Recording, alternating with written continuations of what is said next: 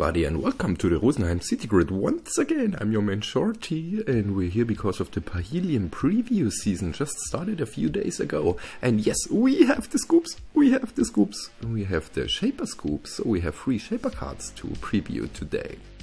I know what you're all thinking. Do we get Bow 2.0? No? At least not for the three cards we have to show you. They are all well designed and of reasonable power level. And if you're excited about this as we are, feel free to skip to the cards itself. I will show you the timestamps in the description below. At least show some appreciation and maybe leave a like.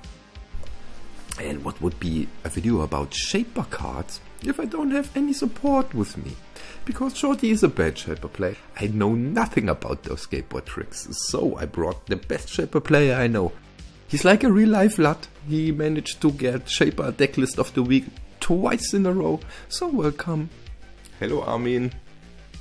Hello, Shorty. Yes, I'm Firecracker. How's it going, Armin? Good, good. I'm really glad that we have some spoilers. Oh, yeah. So I see the cards, you see the cards. Let's not talk too much about it. Let's jump right into the action. I think the people are are keen to see the new cards. So the first new card is Basilar Synthgland 2K VJ. It's a unique Shaper hardware, cybernetic. When you install this hardware, suffer 2 core damage. You get plus 1 allotted click for each of your turns. 1 to install, 3 influence. Armin, any thoughts? It's better than Rezeki, right? But has some downsides. Uh, having a extra click is really amazing. Like if you wanna deep dive, that's really good.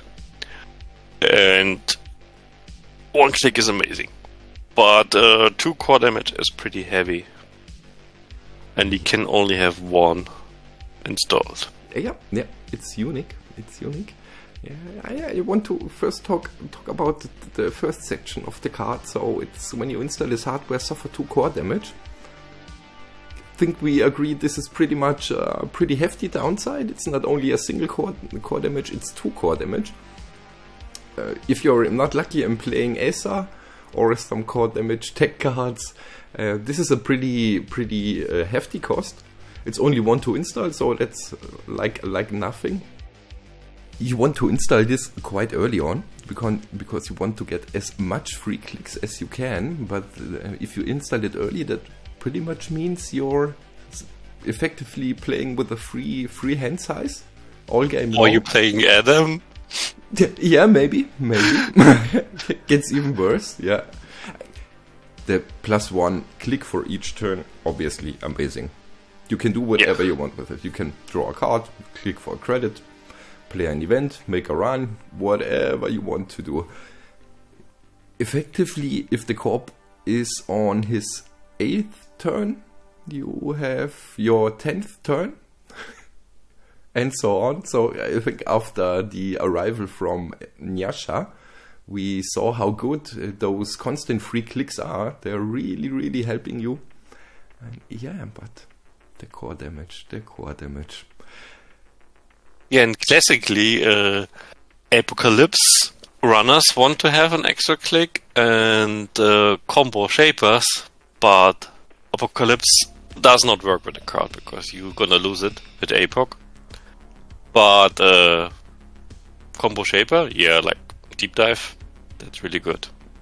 Also, Anarchs could be happy with this card, like Esa, for instance, with the core damage, but in general, like Anarchs don't worry too much about like two core damage. They have cards they want to discard anyway. Yeah, I agree. I agree. There's not too much cards that um, provide you heavy support for more than four clicks a turn. I mean, the, the, the most prominent ones are the, I call it uh, run all centrals and do something crazy like Deep Dive or Apocalypse. Uh, yeah, outside of that, I don't know. I mean, if you get an additional click and you click for a credit, that's yeah, that's basically a Rezeki. You're right, but uh, I don't think you want to suffer two core damage just for the Rezeki. Yeah, but I think also Shaper, it's okay. Sometimes you can uh, suffer the 2 core damage. You don't care about maybe your hand size too much. You want to install most stuff anyways. And um, same goes for Anarchs. I think Esa, yeah, talked about that. But also our good stuff, Anarch, is fine if you suffer 2 core damage. For the additional click, that's worth it. Yeah, but the problem is like you want to install it early to get the value of it, but you don't want to run three copies of it. Yeah. And the only tutor for hardware so far is uh, at Adam, and at Adam you don't want to suffer co- two core damage because you might go down on hands as one. No. yeah, it sounds terrible. Yeah, it's a fun idea. So yeah, it's supposed to be a deep dive card. I, I don't know how much we can see uh, this in deep dive decks. You already have the Beth, which provides with additional clicks sometimes. And if you want to play deep dive, you really don't need an additional click each turn. I think it's enough if you have the additional click on the deep dive turn. And if you're on deep dive and install this later on in the game, you might uh, lose the deep dives out of hand you already draw. So yeah, that's a little bit a critical situation. But yeah, we will see how much we, this this card will see play. It's free influence, so that's quite on cost for splashing this maybe into Anarchs. I think in Criminal this is pretty much unplayable because criminals uh, are so weak to core damage. So if one of your keybreakers gets trashed by the core damage, you pretty much yeah lose the game.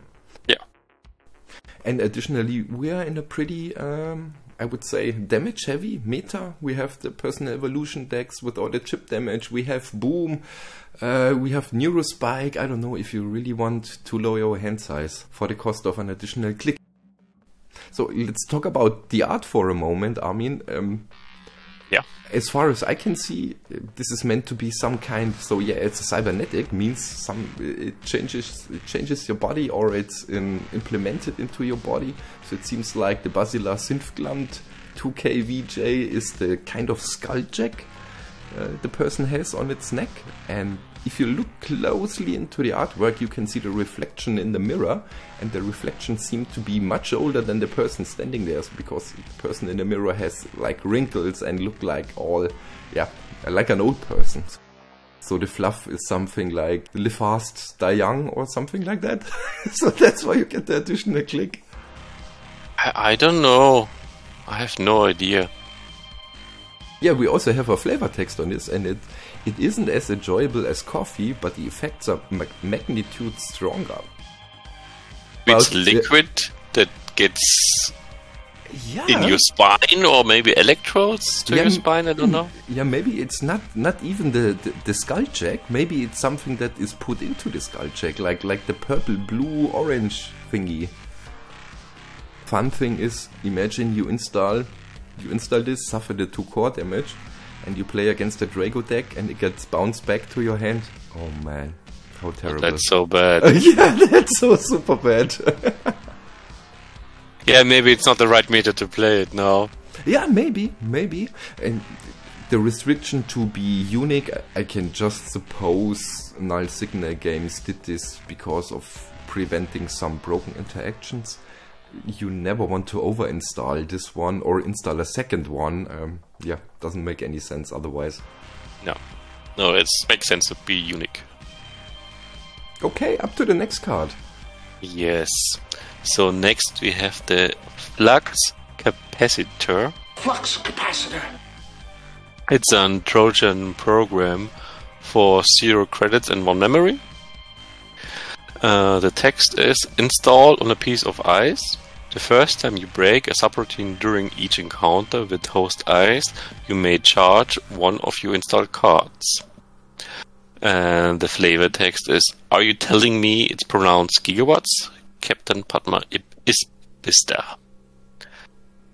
And to influence. Yeah, first things first.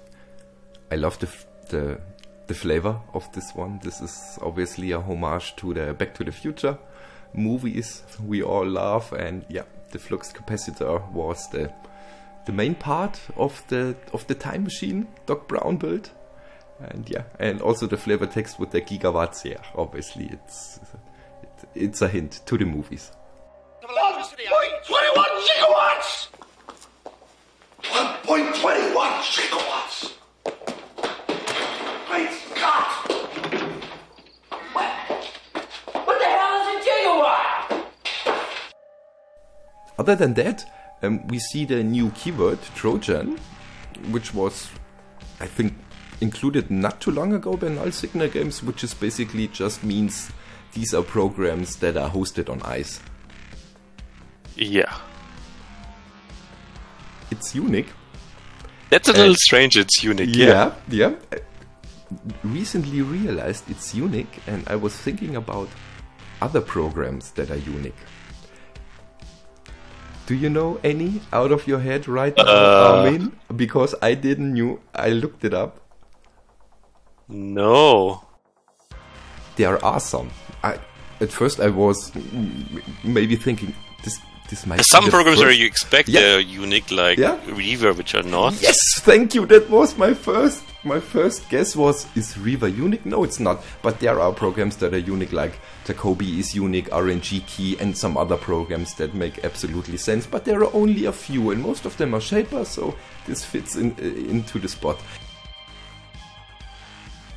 To the card text itself, yeah. So it needs to be hosted on a pro uh, on a piece of ice we already seen quite uh, some cards, um, like the Trojan cards, also in Shaper. One very similar card is Kyuban. Uh, it Mm-hmm. gives you two credits every time you pass the ice, so it's not a power counter, but two credits. It's really similar, and didn't see a lot of play yet. Yeah. But I like to play around with it, and uh, like one charge could be better than two credits, but it's more conditional. Yeah, I mean, so what do we charge with this? A boat? Yeah. And maybe the next card we're gonna spoil. Yeah, yeah, maybe. Yeah, so the first thing you, you, you think about is so I can buff my boat. We already Yeah, but see quite some of those Yeah. supportive power power counter uh, cards uh, in the first part of the Borealis cycle in Midnight Sun. Um, and this keeps continuing the, the trend, the trend of this. Yeah, it's Shaper. It's a program. You have SMC, you have Simulchip, you have Into the Depths. Shouldn't be too hard to get this one on the table. And if you need to fodder it for your Simulchip, or maybe you sell it with uh, Aesop's, that's fine. you mean it's not good? yeah, yeah. Obviously, you need something with power counters to charge. Otherwise, the card is nonsense. But uh, I think 99% of the Shaper decks these days run endurance. You have, um, for example, uh, Earthrise Hotel. You have Yeah. Hyperbaric. There's there's a lot of cards to charge. So this is another little tool to charge. I think it's a little bit difficult uh, if you need to host it on a piece of ice. You you want to install it on a rest piece of ice because so you know what kind kind of ice it is, and if you are able to break it, and you need to be able to break it because you need to break a subroutine to get its effect. So yeah. Yeah, if you do it on a cheap piece of ice, it may be get over installed. If you do it on a uh, expensive piece of ice, you- mostly tend to not break expensive piece of ice more than you need to. So you need to find a Yes. little bit of the sweet spot with this. It's- Yeah, you need to get a card with which you want to be charged. You need to pass an ice, and you need to install that card. That's three conditions. And maybe you are happy if the corp is over installing the ice just because the flux capacitor. Flux capacitor. And then uh, you already got the value out of the card, right? If the corp over installs it, it's a zero cost. Yep, totally, totally. So- yeah, this is, I also think so. Even even if it's a cheap or a semi-annoying piece of ice, if it gets over-installed, that's fine. If this gets sucked up by magnet, which will happen, I suppose, which is also a problem. fun. Then you can sell it. yeah, yeah, you can still sell it. Yeah, I, th- I think it's a okay inclusion. It's also unique. I wonder why, and Unicards always have the problem how many copies do you play? Do you play one copy? You might not even see the car at all. If you play two copies, you have at least one dead copy already in your uh, in your deck because you can't install both of them. Yeah, yeah. Yeah. Three of them might be overkill. Yeah, one is a good number, and you might want to use SMC or maybe into the depths with it. That, that, I don't okay. know. I don't know. I don't think the effect is that strong. What, what do you think? A card like this in a Padma deck, just for additional charges. So maybe you don't need the Padma charge um, for your Earthrise hotel. Maybe you use it for uh, to boost the boat even more. Yeah, I think for Padma it makes the most sense because you already want uh, play cards which are charged.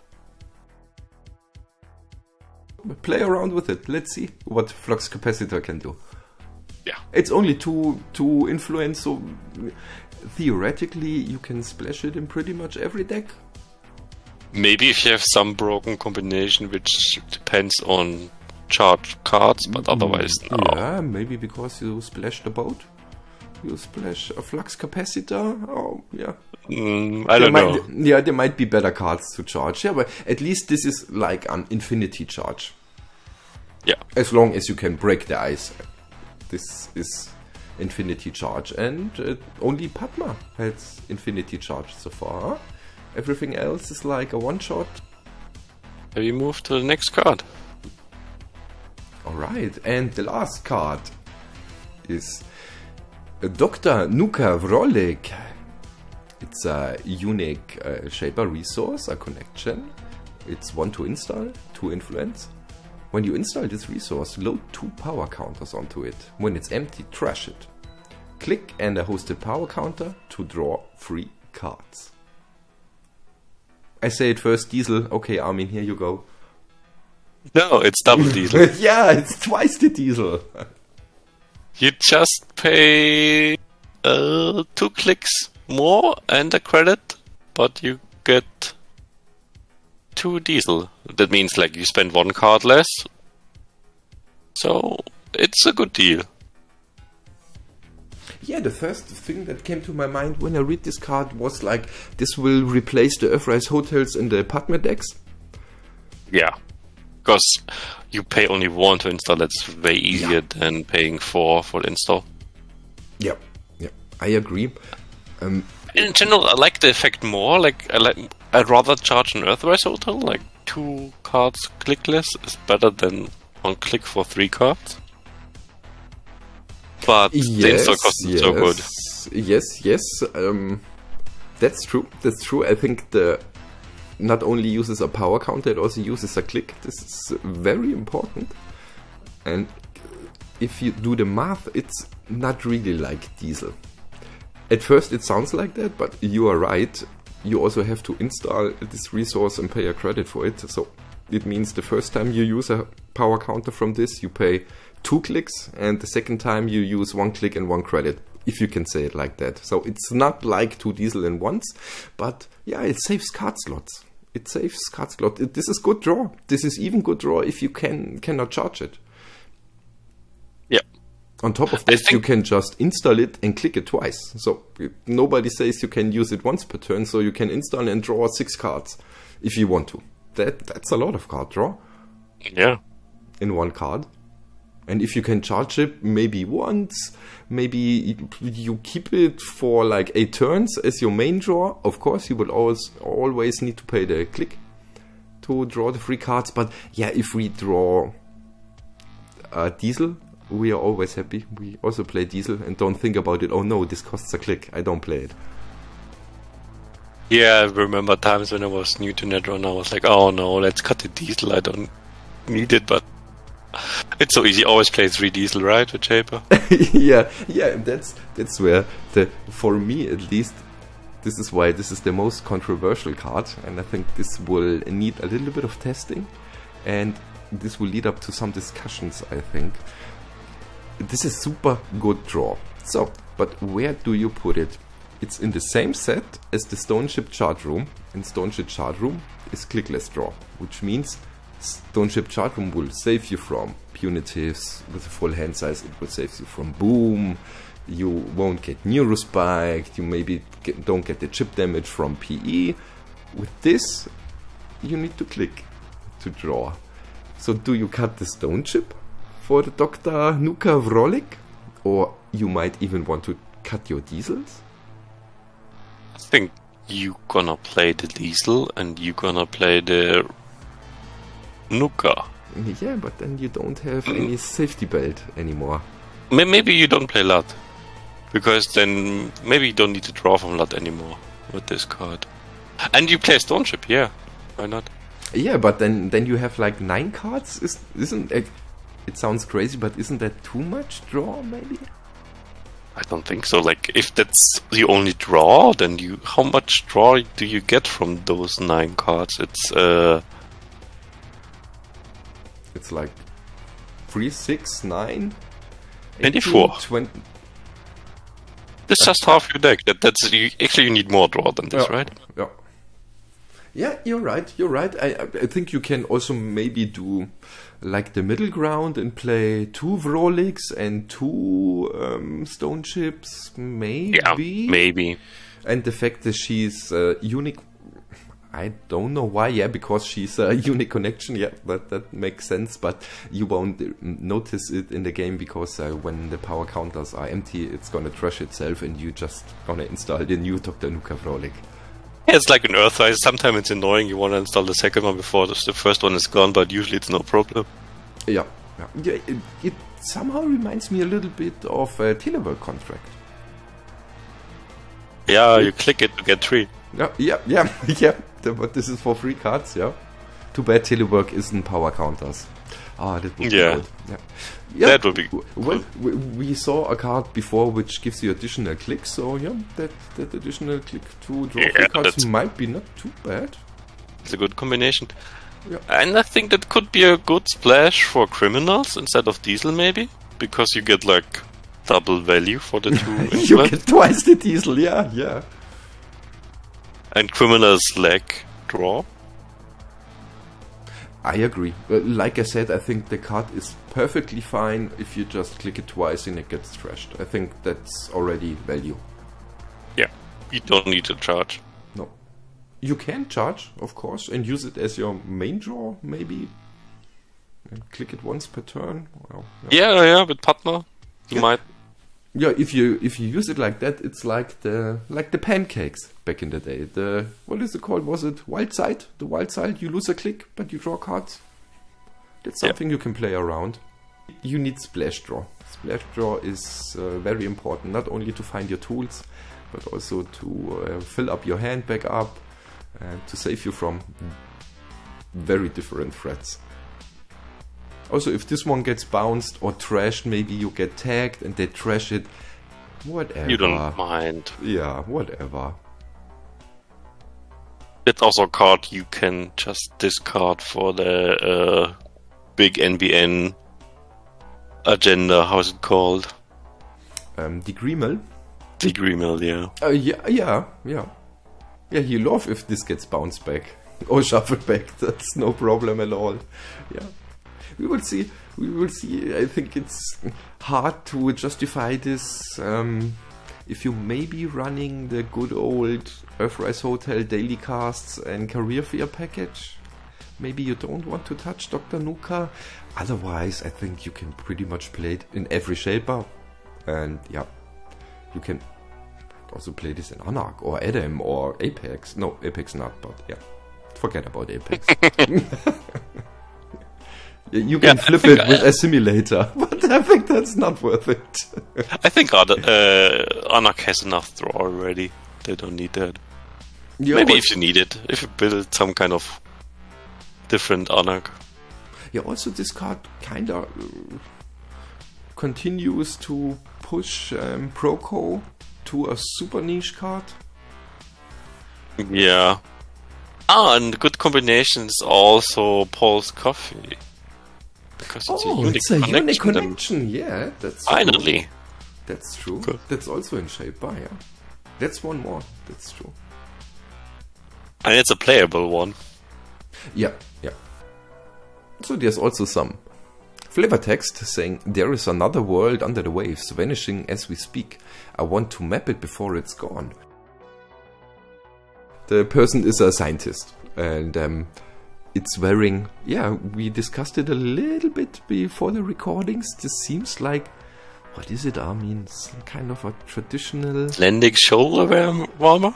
you say uh, Icelandic before, and it really reminds me with the colors, but I don't know. I think it has some meaning here in this picture. Maybe it's just just to do the connection with the Borealis. Um, the artist, I think it was important for the artist. I think I don't know why, but it might be. So, what is it in background? Is she sitting on top of the endurance, or in the endurance? Looks like a boat, yeah. Oh yeah, could be, could be. And you see like a light out of the window? Yeah, that's like uh, the Like um, the signal lights from the boat, like Yeah. telling I'm here. Thank you, Armin, for supporting me here. Looking forward to see the cards in action and looking forward to so many other spoilers and scoops that is coming up. This was the Shaper part. Thanks to Mike P for the cards. Thanks to Null Signal Games for providing us with the scoops. I know uh, the people in the design team and the whole team has done a ton of work to make this possible to get the cards out in time. Thank you. And thank you, Armin. Yeah, amazing job. Thank you, and thank you, Shorty. Bye. Bye bye.